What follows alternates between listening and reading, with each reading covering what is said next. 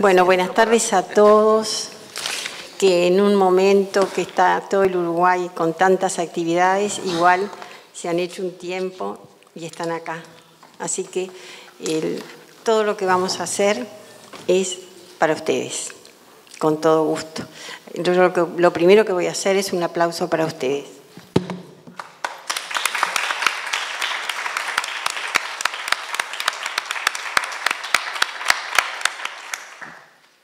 Y ahora, si me permiten, lo que vienen a ver son dos documentales cortitos.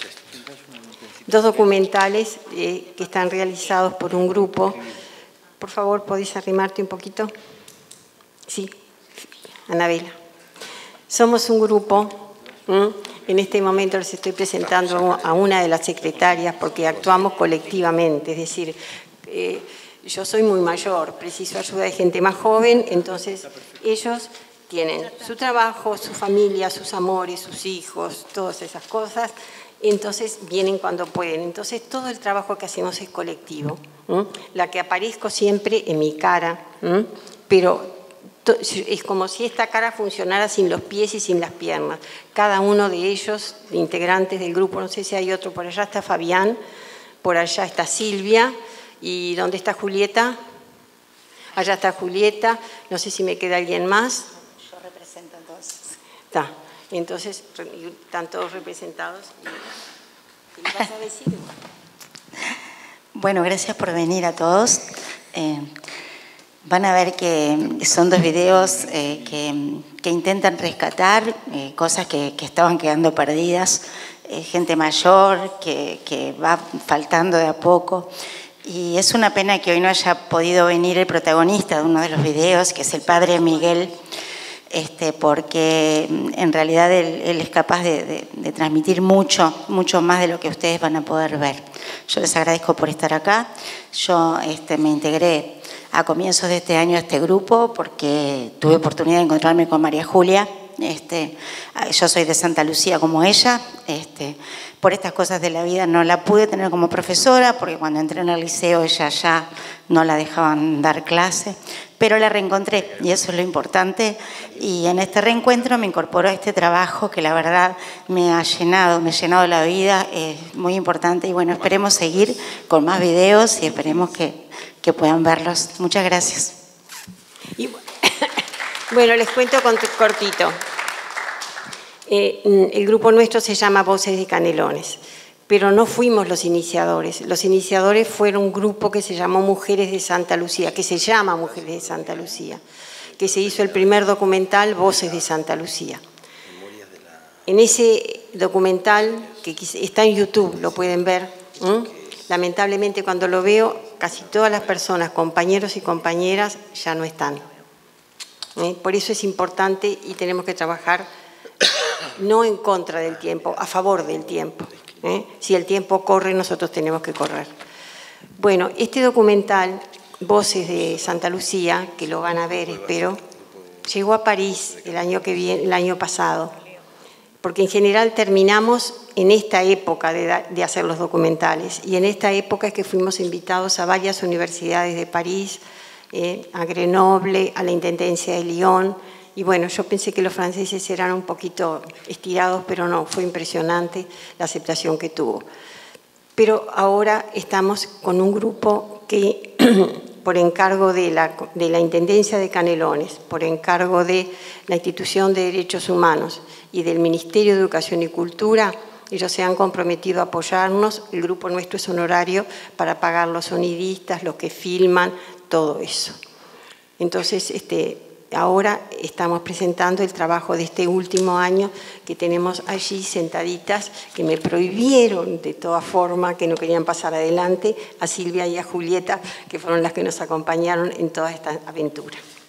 Y ahora, si me permiten, este, los que están acá sentados son los personajes ilustres. Son los personajes ilustres. El primero que está allá con la cabeza agacha es el decano le agradezco muchísimo, primero, que son, es el dueño de casa, que nos haya recibido a todos. Y después que sé que este, ha apoyado muchísimo a Fiorella, que acá está Fiorella, por favor, vení, porque ella es mi mano derecha, mi mano izquierda en esto de acá.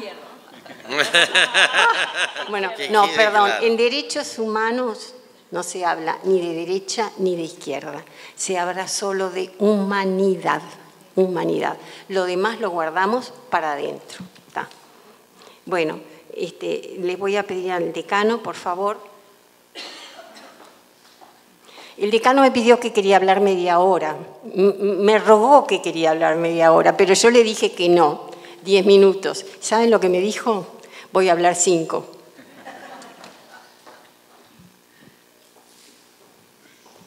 Bueno, buenas tardes, muchas gracias por la invitación a las organizadoras. Este, bueno, yo básicamente lo que he hecho de mi vida institucional ha sido trabajar sobre particularmente la segunda generación, vinculado a los aspectos de memoria y producción de subjetividad. Por eso esta mesa, he tenido tantas mesas desde los dos meses solamente que soy decano, que esta particularmente es una de las que tengo muchas ganas de estar y de hablar poco. Eh, quiero plantear tres puntos muy rápidamente. Primero, este, eh, hemos realizado con un equipo, junto con Facultad de Humanidades y Ciencia de la Educación, eh, con el grupo Memoria Libertad, niñas, niños, adolescentes, hijas, hijos de expresos políticos, que fue entre el 2008 y el 2011. En ese momento, ese primer contacto que tuvimos, ellos nos reclamaban cuatro cosas, que era visibilidad social, tener un reconocimiento social, ser visibles socialmente, existen. Segundo, eh, poder componer, confeccionar testimonios, porque autogestivamente no lo podían hacer se derivaba en trabas, eh, afectaciones múltiples. Y en tercer lugar, conformar un archivo. Elementos todos que colaboraran a la construcción de memoria de ese corte generacional. Después este, se desintegra y en el 2018 volvemos a tener contacto y empezamos a trabajar sobre las mismas temáticas, se repite mucha gente, pero particularmente centrados en el tema del reconocimiento social, la visibilización social y este, la conformación de una causa. Esto para nosotros fue muy importante durante todos estos años. El 19 de agosto de este año, este, agosto de este año, cuando hay una recomendación de la Institución Nacional de Derechos Humanos que toma eh, el, término víctimas y lo incorpora a esta generación. Eh, el, término víctimas es discutible, ¿no? políticamente discutible. Legalmente. Y legalmente ni decir. Entonces, eh, el, término víctima acá solamente voy a referir al aspecto legal, en el sentido de ser, son incorporados de un reconocimiento estatal, hay una extensión de la ley de reparación. Y eso es clave para los procesos, más allá de, la posibilidad de asistencia psicoterapéutica, odontológica, eh, eh, es clave porque hay un momento en el Estado que realiza un reconocimiento este, a esa generación que siempre fueron como eh, terminológicamente en las organizaciones sociales incluso era una especie de efecto secundario. ¿no? y ellos pudieron durante muchos años incorporarse, este, acá seguramente entendemos rápidamente de qué estoy hablando, ¿no? poder incorporarse este, a ese lugar de, víctimas barra luchadores, luchadoras, ¿no? Pero empezaron a tener ese lugar que fue un, quiebre, un quiebre a tal sentido que eh, con una serie de compañeros y compañeras eh, nos vimos obligados a ponernos a escribir una especialización en psicoterapia para tratamiento de víctimas del terrorismo de Estado, porque no, no hay una formación específica para poder proporcionar, abordar eh, a la Cooperativa Salud de Derechos Humanos, eh, poder disponer, este, porque creció exponencialmente la posibilidad de una demanda en psicoterapia. Ya termino. Este, me voy a saltear muchas cosas, pero además eh, esta invitación y acá y en este momento este, me voy a saltear, eh, también tiene que ver con lo que históricamente muchísimos de nosotros, no solo de la psicología, de la filosofía, de la historia, de la antropología, hemos aprendido del efecto del terrorismo de Estado o la afectación o, la construcción de modos de existencia a través de la afectación del terrorismo de Estado y sobre todo, para mí, en la continuidad de la afectación del terrorismo de Estado. Es decir, no es un problema secuencial en el tiempo, sino es un acontecer, un acaecimiento fenoménico este, que hay todos ustedes en la vida, muchos de ustedes lo habrán podido comprobar, hay ciertos acontecimientos, como la ley de causidad, pero hay ciertos acontecimientos que disparan una serie de elementos.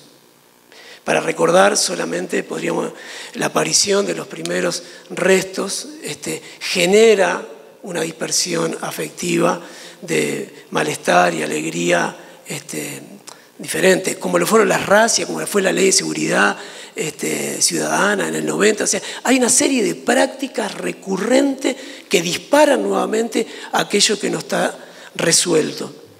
Y, este, y yo creo que, porque lo compruebo eh, cotidianamente en el encuentro, no solo en la clínica, sino en el encuentro con Memoria en Libertad, que lo que estamos viviendo hoy en Uruguay, lo que estamos viviendo en América Latina este, es un elemento disparador de composiciones que, al decir de Spinoza, pueden ser de pasiones tristes o de pasiones alegres, pero hay cierto dominio de producciones este, pasionales, extractoras de energía y de tristeza, este, que lo tenemos acá, en el barrio, en la región. ¿no? Por lo tanto, creo incluso que en Uruguay capaz también deberíamos nosotros estar pensando en todas nuestras reservas energéticas, pasionales y alegres de poder confrontar con estas temáticas y producir eh, pura vida. Gracias por la invitación, gracias.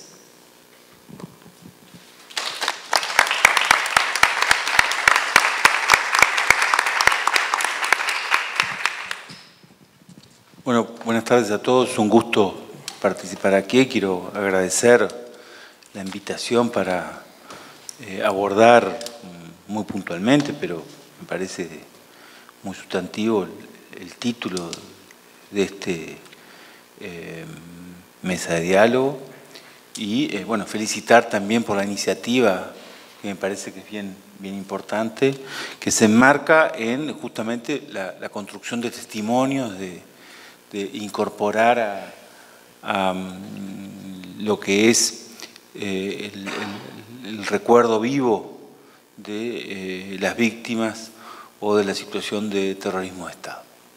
Me parece que, este, que eh, la cultura de, la impunidad, que de alguna forma todas las iniciativas en relación a cómo eh, lidiar con los graves hechos y crímenes cometidos durante la actuación ilegal del Estado o en su faz terrorista, eh, apunta a, de alguna manera, superar ese profundo daño que se ha hecho en forma individual, ¿verdad? pero también en forma colectiva.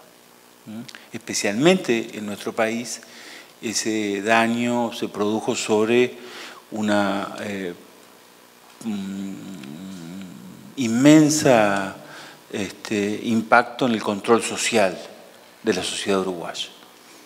Otras, otros regímenes eh, similares no tuvieron eh, ese impacto tan profundo que es difícil de transmitir o de puntualizar en tanto que eh, muchas veces nos quedamos en aquellos hechos más graves o que han permanecido en el tiempo, como la situación de los detenidos desaparecidos, ¿verdad? Que es tremendamente lacerante.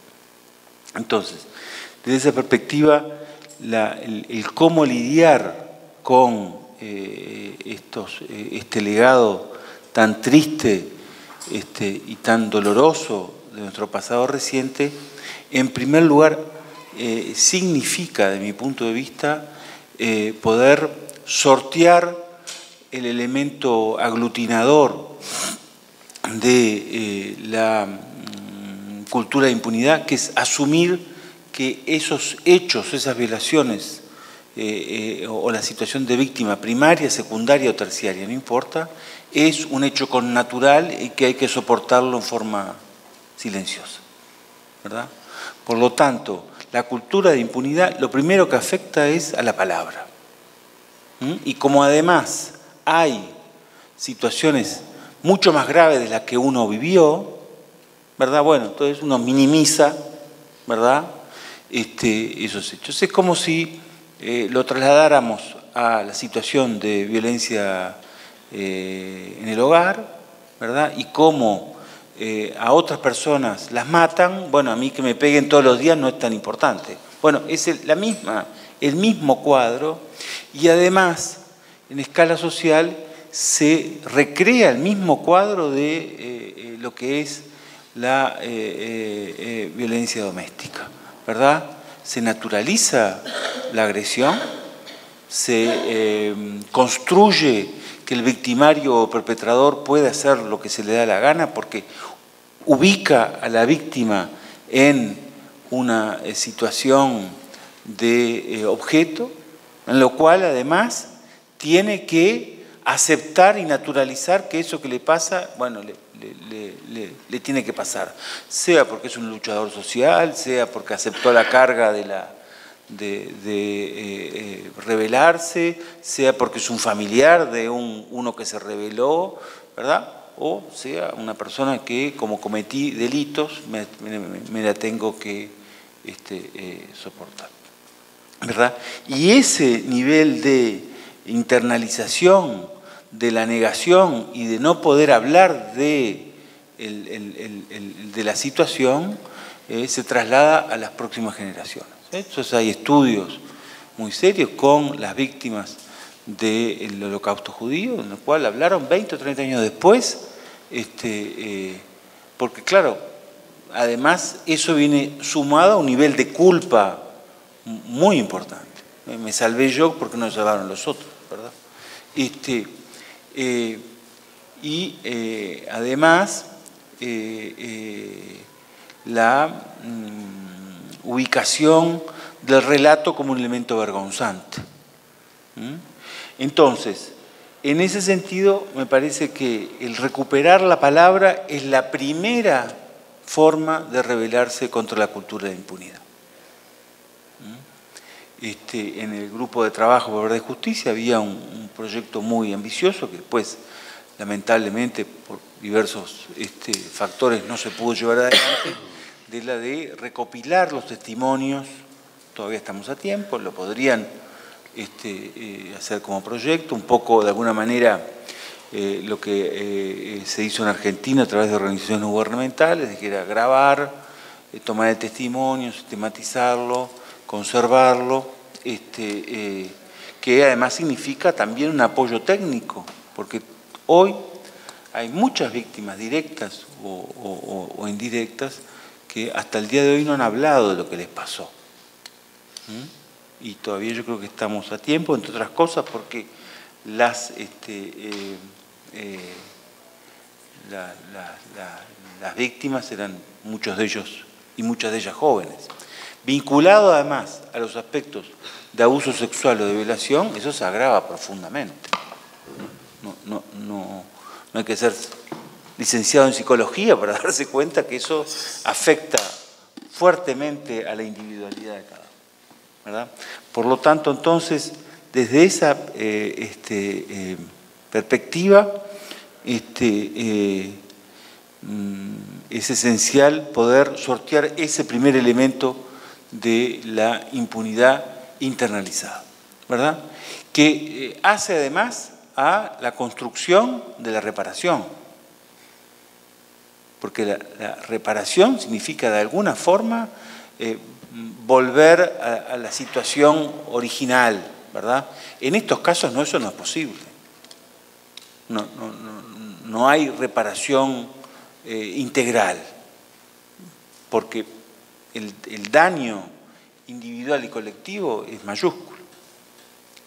Pero la posibilidad de escuchar y de reconocer ese testimonio es por sí mismo un elemento sanador, ¿verdad? En que hecho en condiciones adecuadas permite reconstruir y el elemento, a mí me parece sustantivo, de que la persona empiece a percibirse mm, no como un objeto, sino como una persona en dignidad, en derechos, en que eso no le debió haber pasado. Y si le pasó, no es su culpa, no es su responsabilidad. ¿verdad? Este, yo creo que mm, la sociedad uruguaya, por, múltiples aspectos, porque si la tortura sistemática fue la principal violación, si uno va a, los aspectos judiciales, fueron pocas las denuncias que se realizaron en ese sentido, ¿verdad? Este, eh, eh, tampoco hubo muchas denuncias por prisión prolongada, que fue otra características del de, eh, terrorismo de Estado en Uruguay. Este, y eh, eh, obviamente la situación de los niños, niñas y adolescentes, la época este, eh, en la cual mm, eran víctimas este, del terrorismo de Estado, a través de, de las condiciones que se les imponía a sus progenitores o a sus abuelos, evidentemente este, eh, en Uruguay no le prestamos atención. Parte, desde mi punto de vista, es justamente desde el otro problema. Pensemos cuando la universidad empezó a tomar seriamente los aspectos del pasado reciente. Le costó mucho la universidad. Curiosamente, eh, este aspecto que era de estudio afuera en el sistema universitario eh, internacional o en el sistema académico, ¿verdad?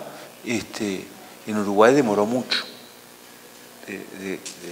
demoró mucho, porque evidentemente este, eh, hace aspectos muy dolorosos de un, este, eh, de un aparato del Estado que actuó como un, ejército de ocupación.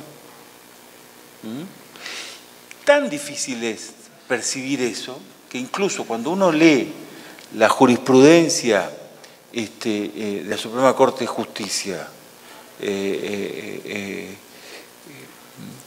las máximas autoridades judiciales de nuestro país, ¿verdad?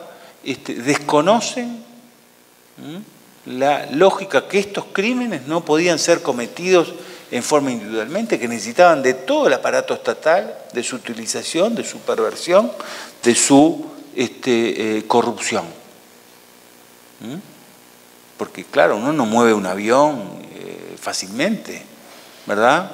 Uno no tiene los criminales vestidos de uniforme, no utilizan los mecanismos y los, recintos del Estado, ¿verdad? No tienen cementerios clandestinos. Bueno, esa, esa lógica de, este, de crímenes de Estado aún hoy es soslayada por la jurisprudencia hasta hoy mayoritaria del eh, máximo órgano judicial del Poder Judicial, que se daría. Yo digo, o sea, si eh, uno fuese un criminal nazi en Uruguay, denunciado, aunque fuese el portero este, del campo de exterminio más ignoto, Uruguay lo extraditaría inmediatamente. Acá, al contrario, ¿verdad? Los tratamos como personas honorables, eh, le damos todas las garantías que sus este, eh, víctimas no, jamás tuvieron, eh, juegan con el sistema judicial, todo eso con la complicidad de la Suprema Corte de Justicia.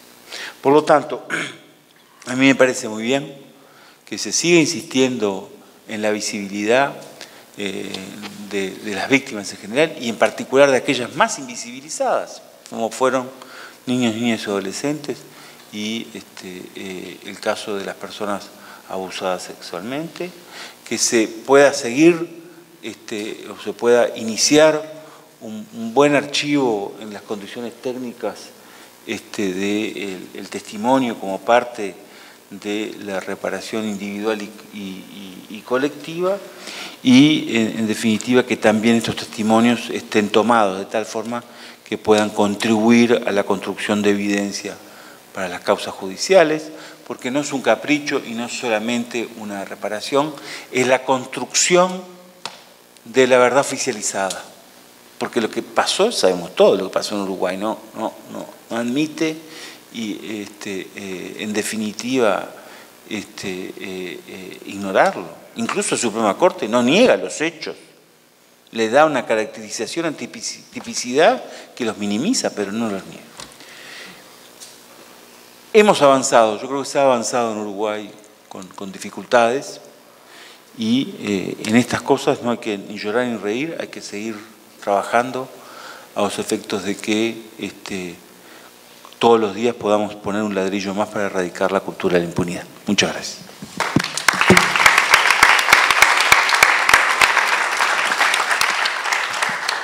Perdón, la persona que acaba de hablar creo que no se presentó, es el doctor Felipe Michelini, y esperamos que así como esta facultad nos ha recibido, la facultad de Derecho nunca nos ha recibido. Esperamos a que la facultad de Derecho también nos dé una oportunidad de mostrar algo que es la resistencia del interior. Acá representamos voces de Canelón, representamos al interior. ¿eh? Las, voces del interior están muy calladas para todo Montevideo. Y ahora voy a presentar, por favor. Bueno, me presento, pero no conocen, yo soy Nelson Villarreal. Le decía al decano que comencé, hice la licenciatura en filosofía cuando esto era, este espacio era eh, eh, la Facultad de Humanidades y Ciencias. Este, soy el secretario de Derechos Humanos de Presidencia de la República este, que tenemos un rol este, más de la visión integral de los derechos humanos. A mí me parece, digo, primero, Víctor decía desde voces de canelones, desde dónde leemos las cosas porque la realidad es constantemente dinámica, no solo para permitirnos visibilizar o ver qué es lo que está oculto, sino qué condicionalidades llevan a mostrarnos este, qué está sucediendo, de por qué estas cosas no se han visibilizado como deberían ser. Estamos en un contexto regional donde el Estado de Derecho se está poniendo nuevamente bajo sospecha. Vuelve Smith, el teórico alemán que dio sustento al nazismo, que es la excepcionalidad. Es decir, las crisis de la democracia no se resuelven con más democracia, sino con golpes de Estado o con interrumpir los procesos de negociación de los conflictos de una sociedad. Por tanto, el Estado deja de ser el garante de los derechos humanos y pasa a ser el violador de los derechos humanos. Por tanto, creo que es muy importante esto porque sigue increíblemente en nuestra sociedad como a veces esta teoría de los dos demonios, y no es así. Quien viola los derechos humanos y quien garantiza los derechos humanos es el Estado. Y esto es muy importante porque si no, eh, se comienza nuevamente a esta cuestión y bueno, fue por uno o por otro, Felipe lo decía, ¿no? llevado también a la vida privada, o sea, desde dónde se está mirando este tema. Entonces, a mí me parece dado que se plantearon desde distintos lugares este tema. Lo primero es los relatos, las institucionalidades, la construcción y efectivización de los derechos en la memoria requieren estos espacios de reflexión académico, que cruzan lo estético, lo ético, lo político y lo territorial. ¿sí? Desde dónde estamos recuperando esa corporeidad que no es reconocida como sujeto de derecho y del cual somos parte como sociedad. Yo me voy a preparar un poco más con algunas cuestiones con Ana Aren y Damay, pero no me voy a meter a, porque ya Listur me dijo cinco minutos como máximo y después te corto el, micrófono. Entonces, bueno. Eh, Bien, queda claro que eh, qué relatos estamos haciendo es muy importante porque esa construcción histórica de reconocimiento de eh, la violación de los derechos hace que la impunidad sea una construcción de relato ¿sí? que de alguna manera crea imaginarios, imaginarios que dejan instalados de manera permanente algo que puede volver a suceder.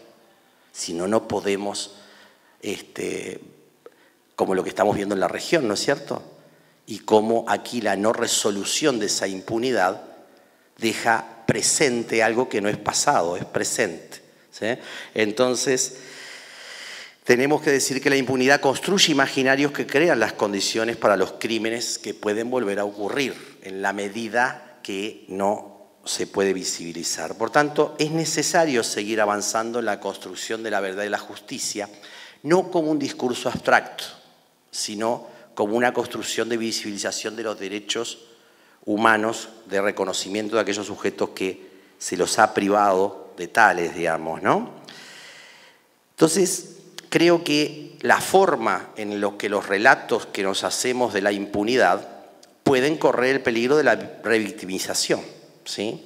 Y no me voy a meter en la psicología, ni me voy a meter en otras disciplinas que van a ser tomadas por este, otra de las expositoras. Pero sí me parece que no cabe la menor duda que el debate fundamental hoy requiere tener la voz de las víctimas, ¿no? tener la voz de las víctimas que nos permitan reconstruir desde un relato que nos interpele.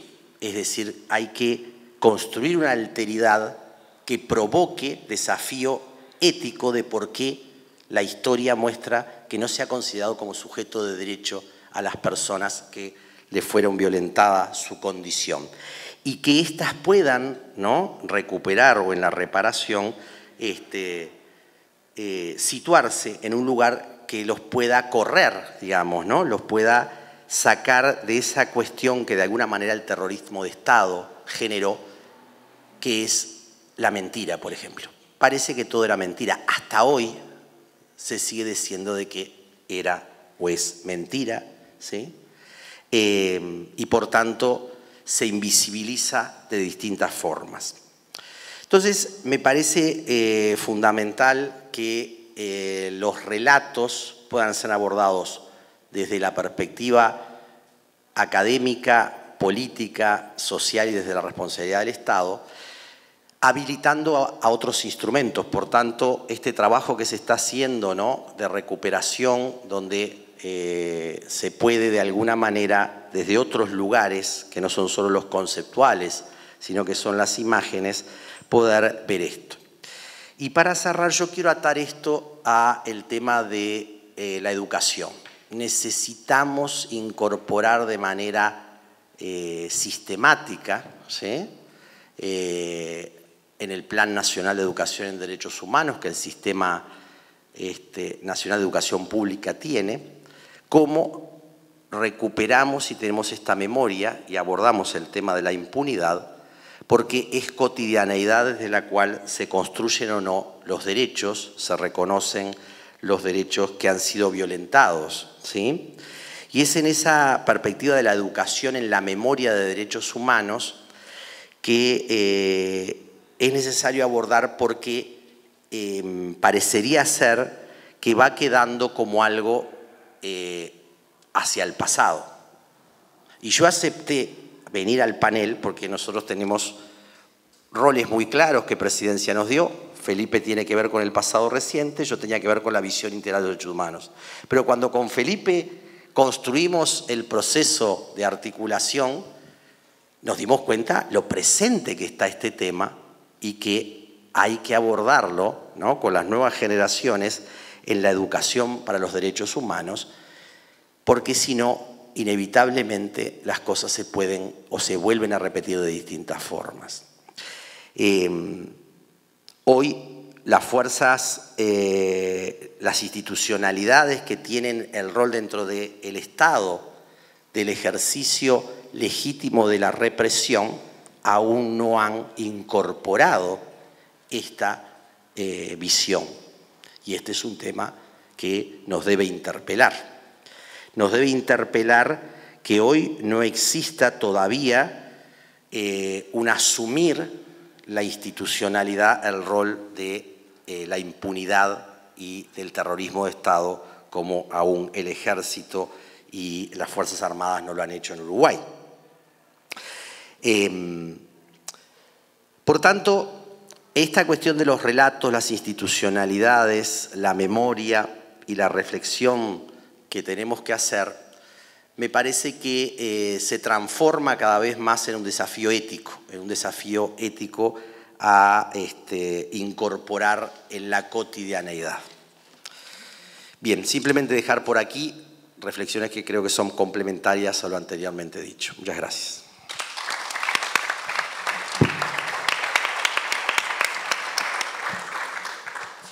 Perdón, la institución, la, Institución Nacional de Derechos Humanos ha mandado a su delegada, una psicóloga, que este, tenemos el gusto de que ella misma se va a presentar. Bueno, buenas tardes. Eh, bueno, mi nombre es María Celia Robaina, me dicen Maricel. Y sí, yo soy psicóloga y un poco complementando los aportes de mis compañeros de mesa, eh, yo un poco voy a poner el énfasis en, un tipo de testimonio, eh, tomando la experiencia que con otras colegas de la institución eh, realizamos, que fue un acompañamiento a, los equipos de de entrevistadores y camarógrafos que eh, recolectaron, bueno, lo siguen haciendo, ahora no estamos haciendo el acompañamiento, pero hasta el año pasado lo hicimos, que recolectaron eh, testimonios del archivo oral del Museo de la Memoria. Eh, son testimonios vinculados, en un principio estaban vinculados al sitio del 300 Carlos, este, y bueno, me voy a referir fundamentalmente a ese modelo, al modelo del testimonio de, lo que es el archivo oral, que es un modelo que se toma de Argentina, de memoria abierta, que también se ha utilizado en Chile, en Villa Grimaldi, y que también en la Institución Nacional de Derechos Humanos hemos tomado eh, para eh, construir nuestro sitio de memoria, que es el primer sitio de memoria de un centro de detención y tortura como es este, el ex-SID, Servicio de Información de Defensa, que, bueno, que fue inaugurado eh, el 27 de junio del año pasado, en 2018, y que es un espacio de memoria abierto al público y sobre todo a las instituciones de enseñanza y se hacen visitas los miércoles y los viernes. Eh, bueno, de acuerdo a la definición de los principios fundamental para las políticas públicas sobre, de, sobre sitios de memorias del Instituto de Políticas Públicas de Derechos Humanos del Mercosur, define a los sitios de memorias como todos aquellos lugares donde se cometieron graves violaciones a los derechos humanos o donde se resistieron o enfrentaron esas violaciones o que por algún motivo las víctimas, sus familiares o las comunidades los asocian con esos acontecimientos y que son utilizados para recuperar, repensar y transmitir procesos traumáticos y o homenajear y reparar a las víctimas. Em, ¿por, qué ¿Por qué se recogen estos testimonios? Bueno, en primer lugar, porque permiten combatir el olvido social de traumatismos históricos y, como decían, y fisurar la cultura de la impunidad. Es para que los protagonistas tomen la palabra de eh, experiencias y hechos que muchas veces nunca se transmitieron y que lo puedan hacer desde su experiencia singular y saliendo fundamentalmente de discursos cliché, de discursos repetidos o de discursos de los grupos, de los grupos políticos, de los grupos de pertenencia, pudiendo apelar más a, las experiencias más individuales y singulares. Em, y a través de esos testimonios mostrar las marcas de los discursos de autoritarismo y de lo que fue la crueldad del terrorismo de Estado, que de alguna manera a través de lo que ellos cuentan se pueda ver que eso permeó a toda la sociedad. Eh, el testimonio oral apela a la memoria de los sujetos que relatan, al relatar hechos personales relatan la historia del país y combinan esas vivencias personales con, eh, eh, hechos del pasado entrecruzados con situaciones del presente. ¿no?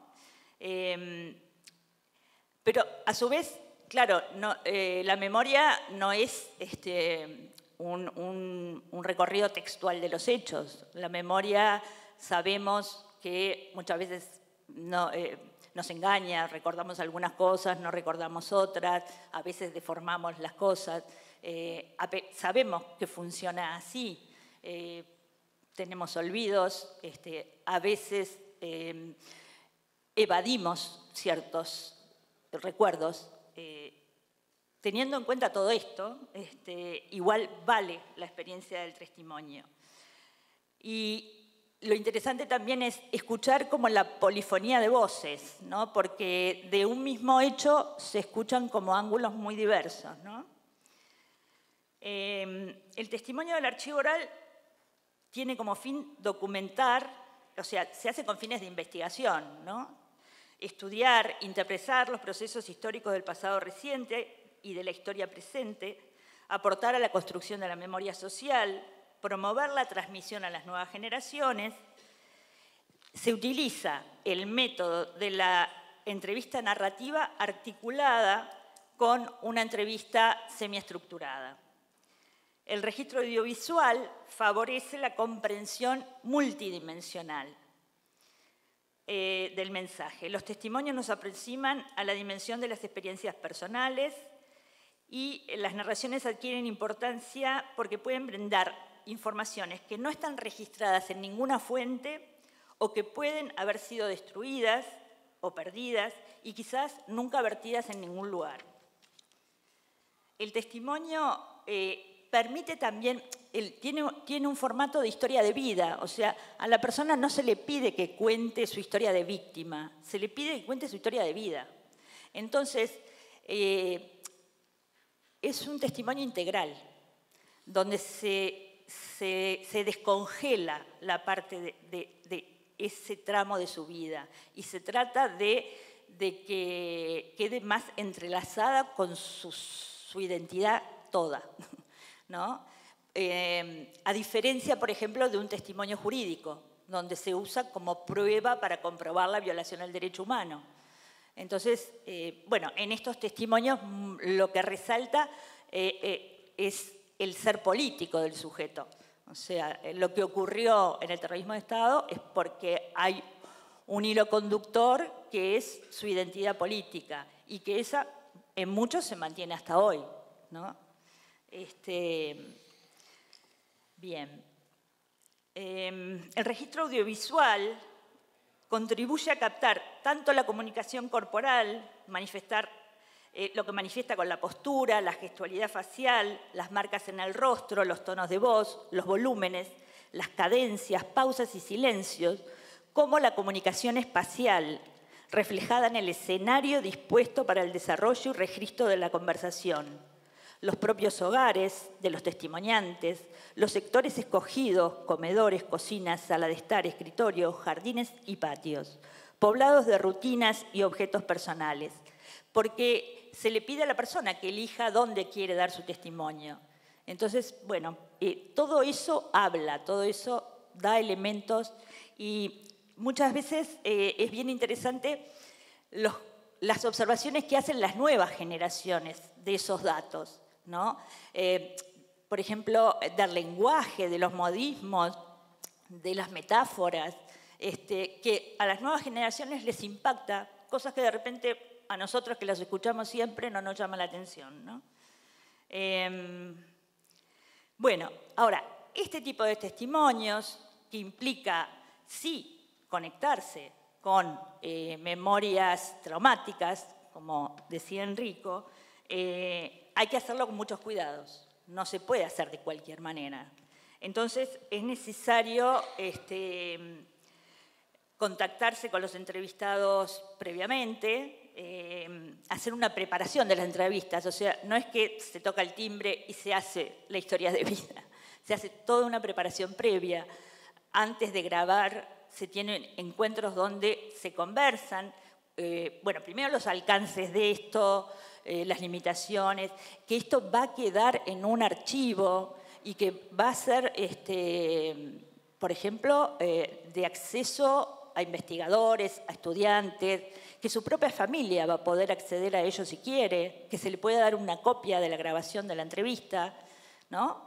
Este, y, es bien interesante eso. Muchos no han hablado con su familia, pero sí les gustaría darle una copia a la familia. ¿no? Este, bueno, por supuesto que es con un consentimiento informado. Eh, bueno, pautas claras de cómo se recoge el testimonio, evitar la revictimización, como decía Nelson. Este, y siempre, por supuesto, que el centro es la persona, no la recogida de la información.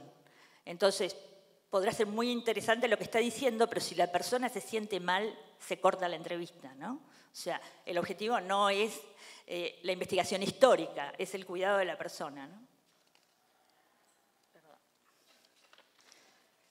Em, entonces, en relación a las memorias traumáticas, eh, bueno, Marcelo Viñar decía, el trauma provocado por la tortura conlleva especificidades.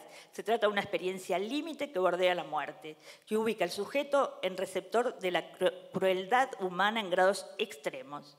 El psicoanálisis aporta conocimiento sobre los mecanismos defensivos que la tortura se propone desmontar y aquello que se, que se pone en marcha en el sobreviviente en las etapas posteriores. El sujeto se defiende de esas vivencias de humillación y de violencia que se, propusieron de subjetivarlo. Entonces, eh, tocar esas vivencias, eh, uno no tiene derecho a removerlas. Uno puede eh, preguntar hasta donde la persona acepte y quiera.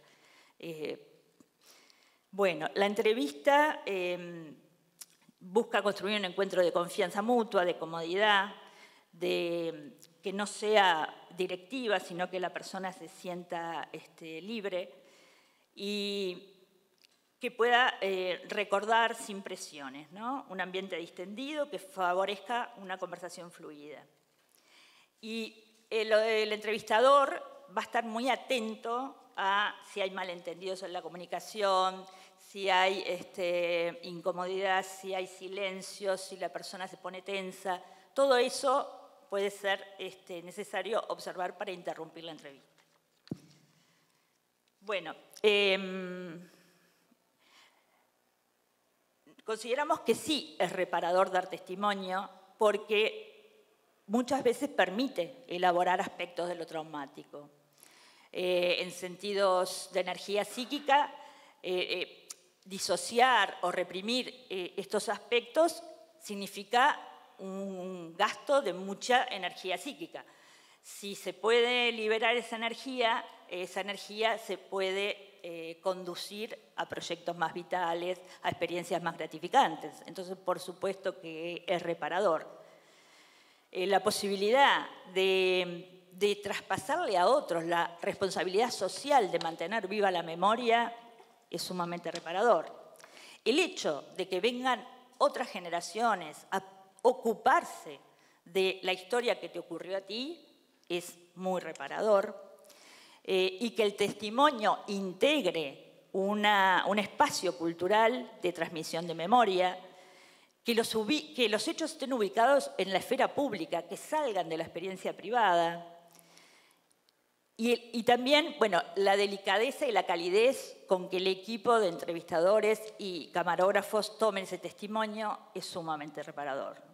Ahí se crea este, un clima de fraternidad que genera este, un, lazo este, muy, humanamente reparador. Bueno, eh, después lo otro que hemos visto, no sé, ya estoy, ya estoy. Bueno, para que voy a terminar una cosita sola. ¿Qué quiero decir? Solamente para terminar. Para que haya real reparación, los testimonios tendrían que estar encuadrados en políticas públicas reales o mejor de Estado. Es muy desgastante que se hagan esfuerzos aislados, dispersos y mucho peor si no se difunden, si quedan escondidos. Los testimonios tienen que estar recopilados y centralizados en algún lugar común. Estos testimonios tienen que ser una prueba para los juicios, como decía Felipe.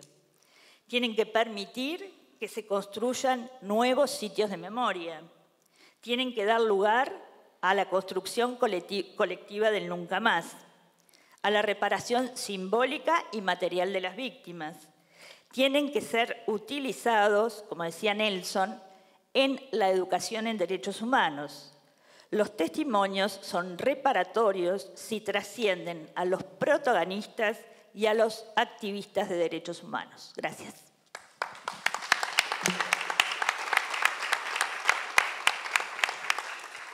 Bueno, les agradezco a todos muchísimo. Cada uno ha hecho su aporte. por supuesto que ninguno me hizo caso. Ninguno me hizo caso. Son testigos. Sí.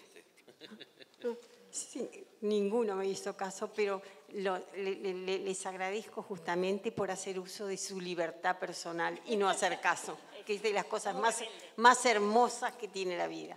Bueno, me cuesta un poquito concentrarme ahora en lo que tengo que decir. Este, no, todavía no. Quiero decir que lo que van a ver ahora son dos, eh, dos documentales que son un poco diferentes, porque en general la gente que ha hablado ha pertenecido a un movimiento de lucha armada o a un partido organizado, muy bien organizado como el Partido Comunista. Pero lo que van a ver ahora son dos documentales de ciudadanos comunes, de ciudadanos comunes que no estaban en ningún partido político organizado, eran sí de izquierda, eran de enfrente, deseaban la libertad, estaban imbuidos de todo lo que en la escuela nos enseñaron, del sentimiento artiguista, de libertad, de democracia, de que el pueblo es el soberano. Y realmente sí, todos reaccionamos ante esa, ante esa dictadura.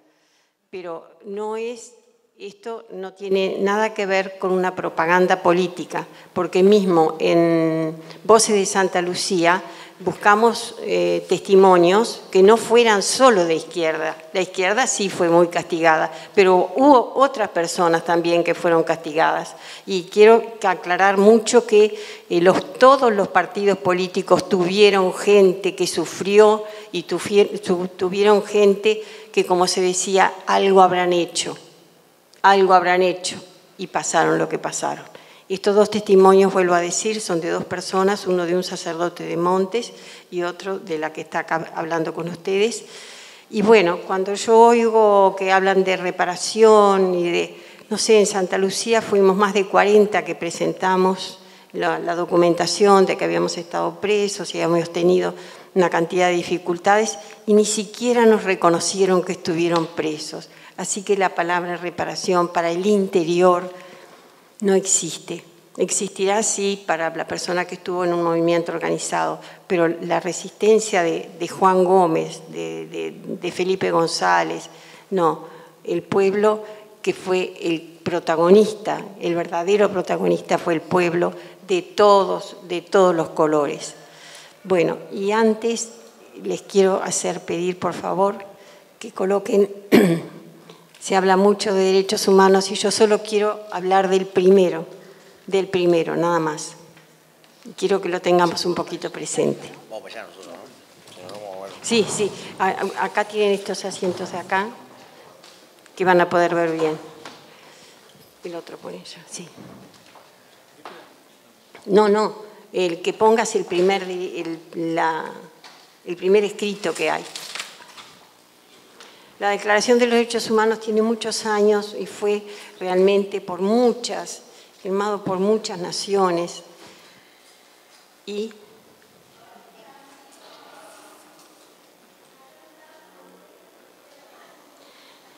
Bueno, y sobre... Ah, bueno, ahí está. Quiero que alguien, que no sea yo, que tenga una voz fuerte, lea solo el primer artículo.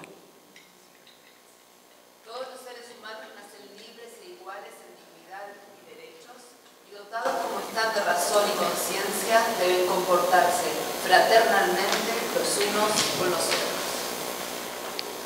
Todos los seres humanos nacen libres e iguales en dignidad y derechos, y dotados como están de razón y conciencia, deben comportarse fraternalmente los unos con los otros. En general, los derechos humanos han estado siempre tratados a nivel de academia. Y ahora, como decía Villarreal, en el último congreso se pidió que desde la escuela hasta el último veterinario estuviera realmente en conocimiento. Simplemente estoy hablando del primero, yo no soy técnico, pero ahí hay una palabra que me hace acordar a lo que fue en la declaración francesa. La declaración fundamental era igualdad, libertad y fraternidad.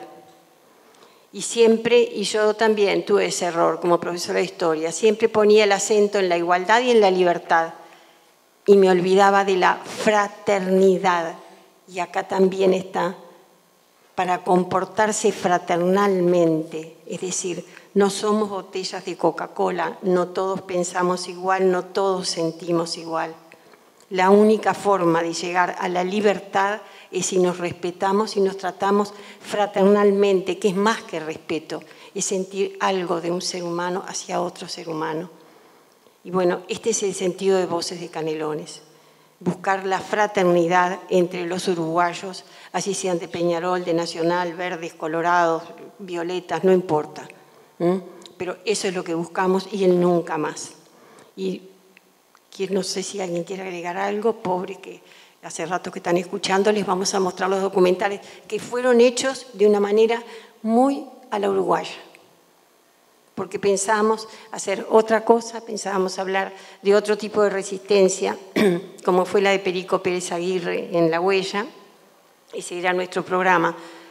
Pero por casualidad, en casa de una psicóloga justamente, este, nos, nos llegó la noticia de que en Montes había pasado una injusticia muy grande y que el cura que la había vivido estaba vivo entonces tuve la suerte de que llamé a dos integrantes, a Julieta y a Silvia, y yo creo que me dijeron a la orden y al otro día estábamos en Montes.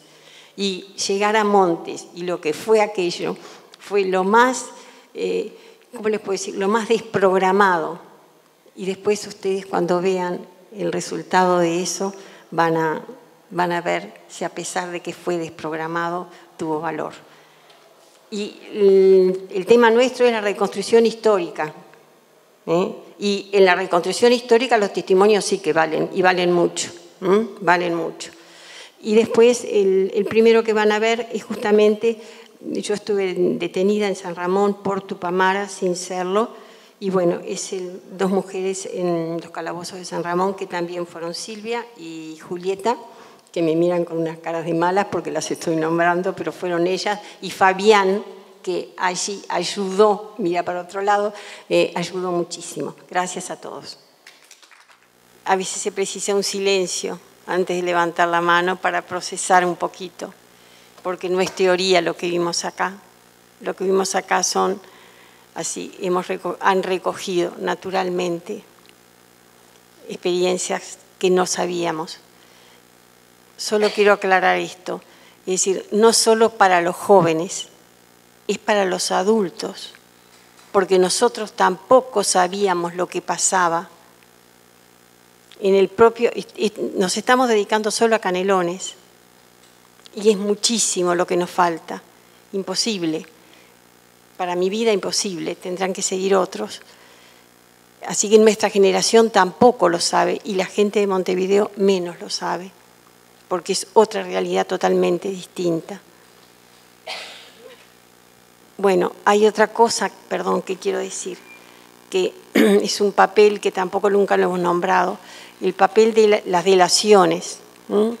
Los, este, los militares hacían su trabajo de acuerdo a cómo están formados y a lo que ellos creían, pero las delaciones en los pueblos fueron tremendas. Y el papel del delator acá por suerte aparecen montes. Eran nuestros propios amigos, nuestros propios vecinos, que no sé si por, por envidia o no, no sé por qué, o por intereses, este, inventaban todas esas historias, como dice el cura, que le buscaban armas en su iglesia. Y a mí lo que me preguntaban era, ¿dónde estaban los muertos? ¿Dónde estaban los asesinados por mí?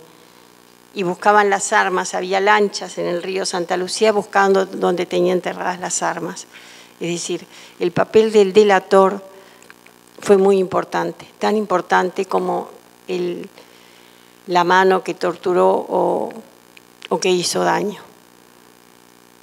Tú habías pedido la palabra, muchas gracias.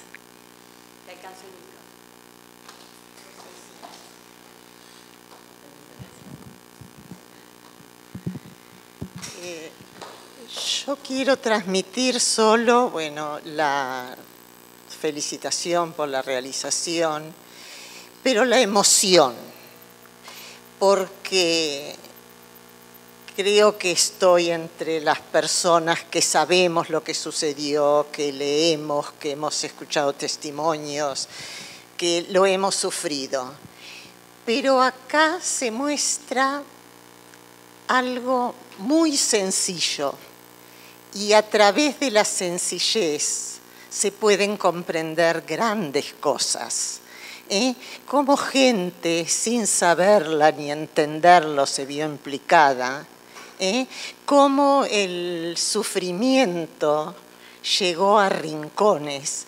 En distintas, cuando habla el, no sé si lo capté bien porque es la primera vez que lo veo, pero cuando habla el cura eh, que dice, no, me trataron con respeto, eh, duro, pero eh, considerado, en fin, vemos la psicología de distintos personajes, la forma de ser, y eso es lo que tenemos que comprender, que no fue una lucha contra, solo contra grupos políticos o que estaban en determinadas acciones, sino de la gente común y sencilla, de esa que a veces dice, a mí esto no me interesa, a mí esto no me toca, y al final todos terminamos implicados.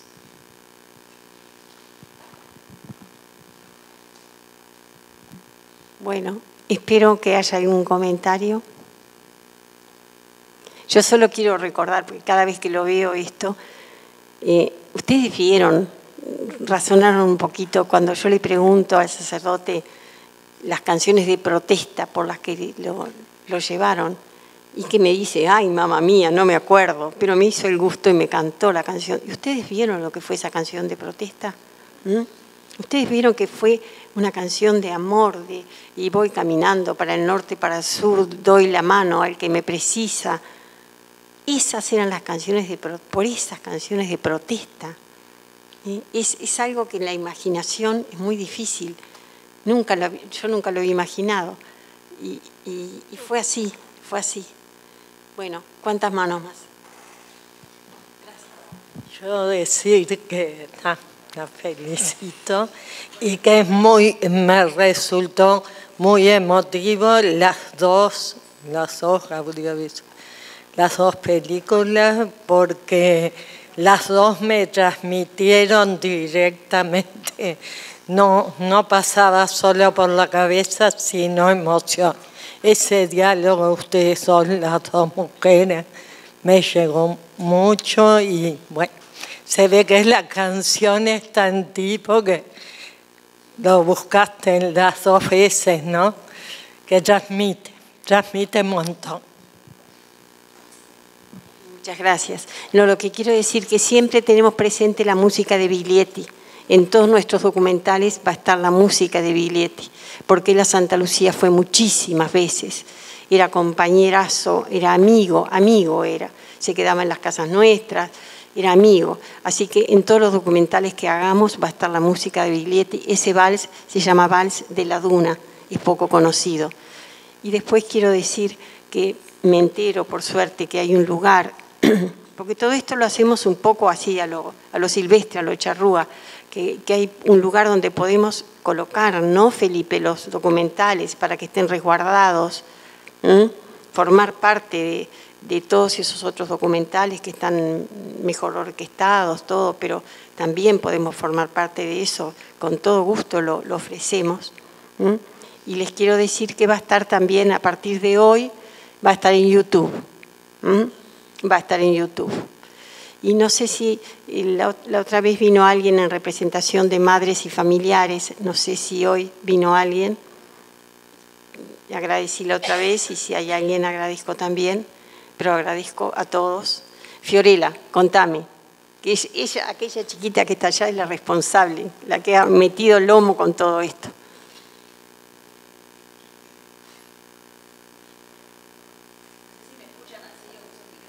No, tenés que usar el micrófono. Si María Julia lo dice, usa el micrófono.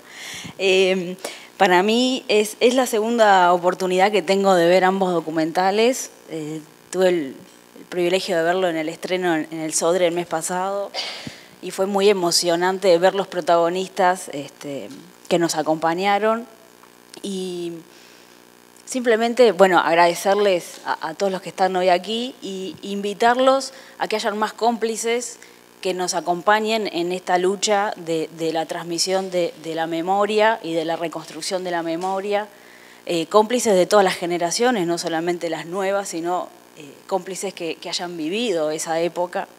Y, que tengamos fuerzas en estos escenarios eh, sociales y políticos diversos que, tal vez tengamos por delante eh, muy prontamente y que vamos a tener que seguir redoblando los esfuerzos en, el trabajo con y para los derechos humanos. Así que nada, eso.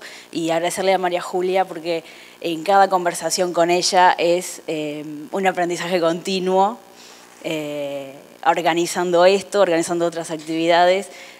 aprendo mucho y te agradezco por tu generosidad en ese tipo de transmisión. Gracias.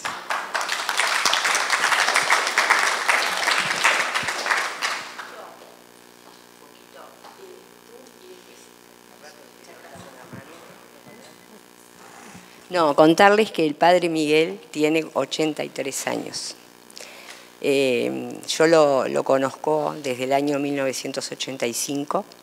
Este, bueno, acotar que felicito mucho a, María Julia, a Gracia, toda la gente que ha trabajado en este documental. Yo es la tercera vez que participo, este, los apoyo muchísimo. Eh, me une mucho este, la historia de, Montes, eh, bueno, todo el tema que contaba la chica que hablaba sobre toda la persecución que hubo, porque eh, en el campo nuestro este, cayeron buscando tatuceras, o sea, conozco los nombres, los apellidos, Mancuello, Macedo, este, bueno, Miguel, a mí me toca mucho esto y creo que hay que apoyar este tipo de cosas eh, por lo que tú decís, ¿no? De un poco eh, no, sembrar odio ni venganza, sino avivar la memoria y seguir buscando hasta, hasta el último, ¿no?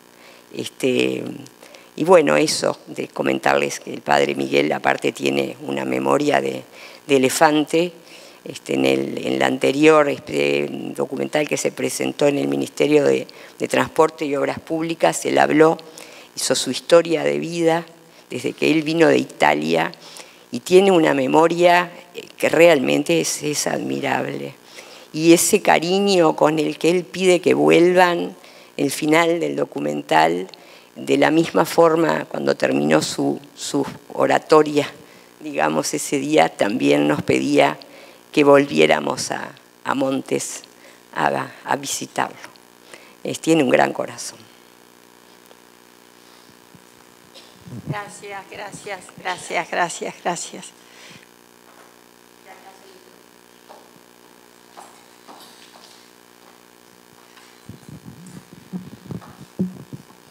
Hola. Este, vine, bueno, conozco a varios de, de varios lados. Yo integro el grupo Memoria en Libertad, que somos el grupo de hijos, niñas, niños y adolescentes víctimas directas del terrorismo de Estado. Nosotros en el Paraninfo hace unas semanas rompimos el silencio, pudimos este, hacer unos cuantos relatos y la semana pasada rompimos el silencio como hijos también donde también nos acompañaron varios expresos y expresas este, en Maldonado, donde repartimos un librillo con, relatos, eh, en el cual eh, de repente hay algunos de los más fuertes porque hay niños, bueno, ya somos grandes, pero eh, que fueron secuestrados, que estuvieron a punto de que los mataran junto con los padres. Eh, denuncias de, en el allanamiento, un allanamiento, eh, haber sido violado junto a la madre, en busca de, de información sobre el padre. Y para nosotros también eh, todas las palabras que han hablado, desde Enrico que trabaja a veces con nosotros, Felipe, Maricel, eh, para nosotros es muy difícil poder hablar.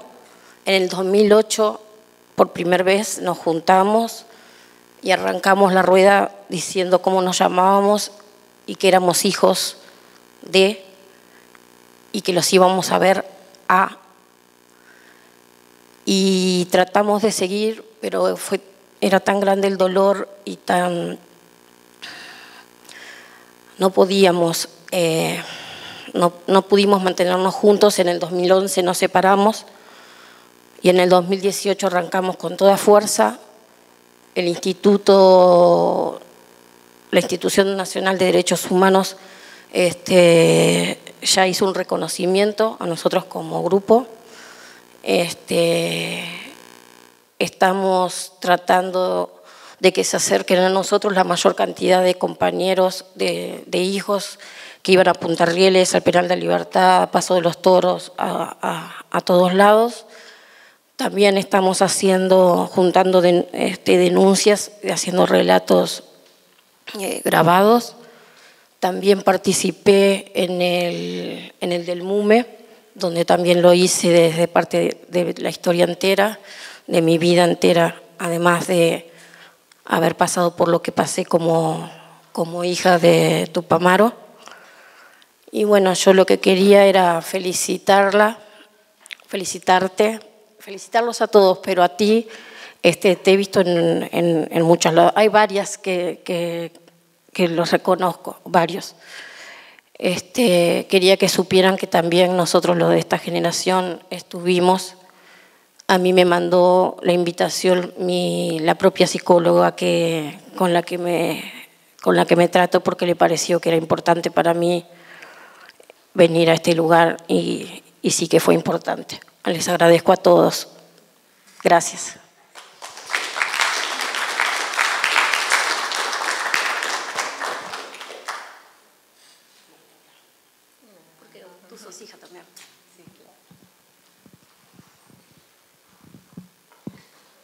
Bueno, y a ver, ¿dónde está María? Allá tenemos una integrante del grupo, que es una brasilera, y ustedes recuerden los esclavos, los años, los negros que pasaron en Brasil como esclavos, cómo salieron de la esclavitud. Salieron con la capoeira, que la capoeira es un baile y es una danza y es una música. Y ahora acá falta música, porque realmente estamos juntos, ya hicimos el duelo todos, lo seguiremos haciendo, pero como tenemos que seguir, tenemos que tener una chispita de algo, de alegría, para que nos permita. Tenemos que, si estamos comiendo algo que no nos gusta, después tenemos que comer algo que nos gusta. No sé si se puede poner alguna música y bailamos todos. Este, yo agradezco especialmente a los invitados especiales, al dueño de casa, a Felipe, que estuvo desde la primera vez que iniciamos esta aventura en Santa Lucía. Espérate a quién más que a la psicóloga, que ahora sí te recuerdo de haberte visto otras veces. Y bueno, y a todos, a todos. A ver, poné palabras para Julia, poné cualquier cosa. Pero que nos vayamos con un abrazo que nos vamos a dar y una cosa, el que ha sufrido violencia en general creo que es el que va a luchar, a luchar no, no me gusta la palabra mucho, va a trabajar mucho por el nunca más y para no violencia. El que vivió y sabe que un ser humano puede llegar a despertar en sí mismo esa violencia, estoy segura que vamos a trabajar todos para que esa violencia que quizás todos la tenemos adentro, que, que, no crezca. ese es el cometido del grupo Voces de Canelones. Después, reparación, todo eso, bueno, estarán los abogados que se encargarán de reconocer si yo estuve presa, si no estuve presa, eso no importa. Pero lo importante es crear eso de la Revolución Francesa, fraternidad, fraternidad. Sin eso no existe. Un beso a todos.